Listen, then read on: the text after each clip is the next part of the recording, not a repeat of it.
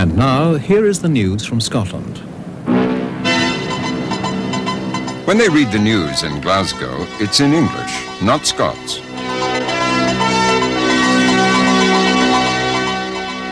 If the Scots did use their own tongue, the language of Robert Burns, it would sound something like this. Get in. In the next two or three minutes, the Space Shuttle Challenger will bringe up for Cape Canaveral. The five astronauts will be in space for eight days. It's the 10th shuttle flight. The Preven of the Yeoman Bringe packs, officially called Minute Manoeuvring Units, carries space voyaging that muckle nearer the fantastic world of Buck Rogers. Snell winds had wrought havoc in all the westland airts of Scotland the day. Glasgow folk especially had a good wheen broken lums to thole, and while the west chittered in the cold sook of the wind, the northeast was smothered with cranruch and snow. And that's the news in Scotland the night. For me, good night.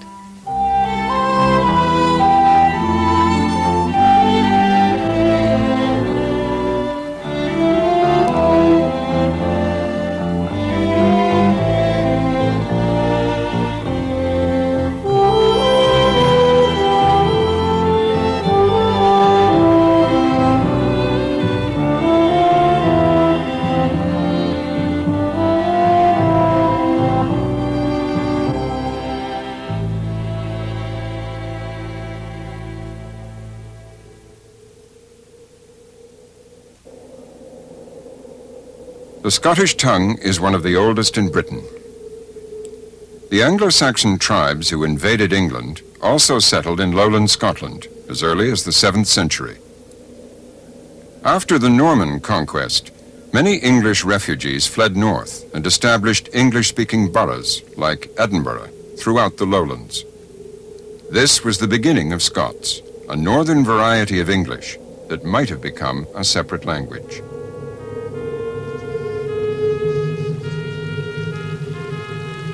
Much of the distinctive vocabulary of the Scottish lowlands is now known throughout the English-speaking world. Words like brae for bank, burn for stream, glen for valley, loch for lake, wee for small, and bonny for pretty.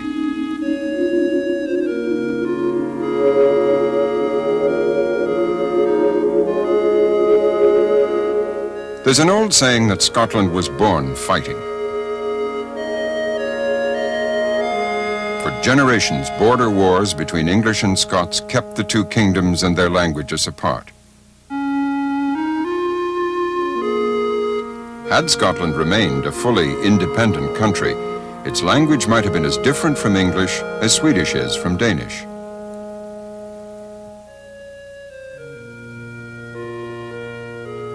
In its golden age during the 15th century, Scottish was the speech of kings and aristocrats and the inspiration of poets like Barbour and Dunbar. You can still hear the Scottish tongue in pockets throughout the lowlands, and particularly in the northeast, in the country round the oil and fishing port of Aberdeen.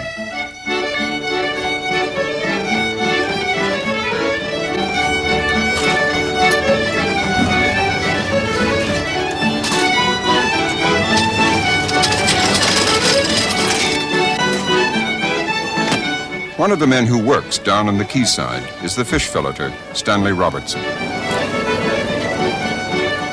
Well, I'm for car filleter. If you were going to take fish out to the sea and just cook them the way they were, it wouldn't be awfully pleasant because you'd have got sinine and nothing upon them. But if I get one of that fish, I take off a fin and off the scales and I cut all the flesh off of it because no is going to like a it is. So that's for the idea, I'm a filleter.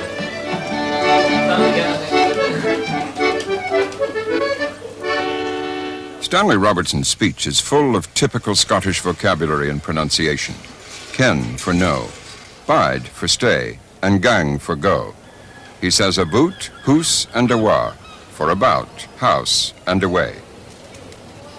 I really like to get away for the fish who snoot into the country, to get away beside the old castles, because from I was a bear and by bear doing about all these old castles, and you were able to transport your mind away to the things that happened long ago.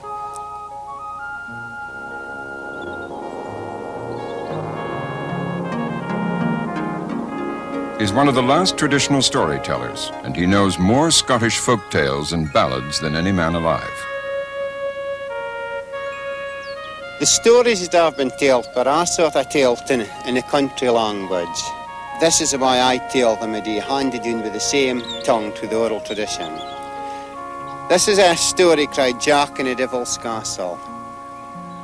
About Heine back, many, many years ago, there lived an old woman and she bed in a wee quarter hussy. And she had three laddies. Our youngest laddie was called Jack. Now, Jacky's Jew, he was a hard-working chiel. You kenned as he would get up early in the morning and work, do the ploughing, do all the work through the farm, and wouldn't go to his bed till late at night. But these two brothers was the most useless and laziest bechels you ever did see. They wouldn't do a hand's turn about the farm and they wouldn't help their mother. Another source of inspiration for the oral tradition of the Scots can be found in the Bachelors' Club, Tarbolton. Every year, the birthday of Robert Burns is celebrated here by the Literary and Debating Society founded by the poet. It's in the nostalgic recollection of Burns that Lowland Scots, the language of his finest lyrics, still gladden Scottish hearts around the world.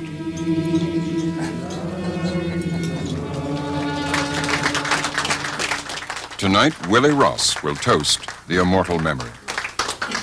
Mr. Chairman and friends, I don't think there's any more daunting task can be asked of any Scotsman, and certainly not of an Ayrshireman, than that of proposing the immortal memory of Robert Burns. Before his death at the age of 37, it was Burns' achievement as a poet to shun the fashion for English and draw on a Scottish tradition that had become despised. He restored his nation's voice and gave Scots a new pride. He wrote nearly 350 songs.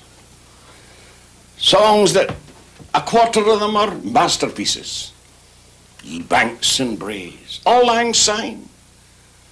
My love is like a red, red rose that's newly sprung in June.